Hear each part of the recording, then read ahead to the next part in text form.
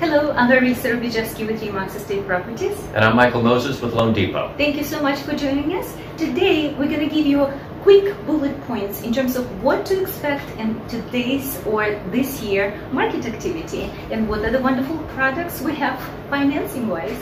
Great products are available, but most importantly, interest rates are low, and it's a perfect window of time to take advantage of that.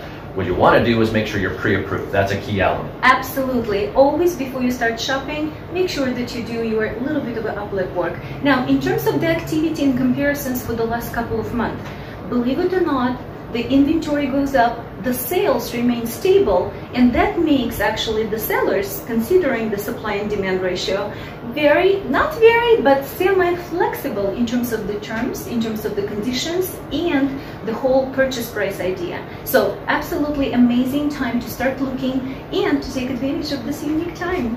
Thank you so much again for joining us. We just scratched the surface because the whole and real picture is definitely more complex and diverse, but we're here for any of your real estate needs.